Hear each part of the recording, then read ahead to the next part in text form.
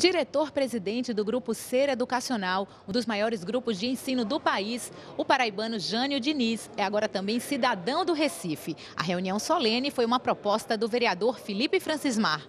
O mais novo recifense foi trazido ao plenário por uma comitiva de parlamentares e recebeu a cidadania das mãos do vereador diante de autoridades de várias áreas, colaboradores do Grupo Ser Educacional, amigos e familiares.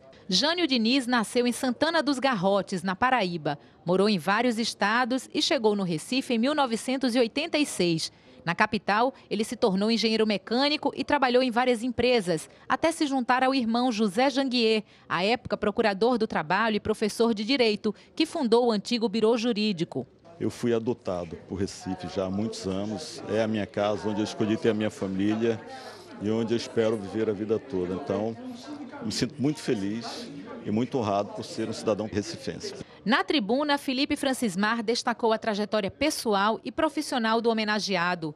Jânio Diniz é diretor-presidente da terceira maior empresa de ensino superior de capital aberto do país, o Grupo Ser Educacional, que abriga mais de 50 instituições de ensino e 160 mil alunos. Nosso amigo Jânio é uma das figuras mais importantes hoje da educação na nossa cidade, no Brasil, mas especificamente se radicou no Recife.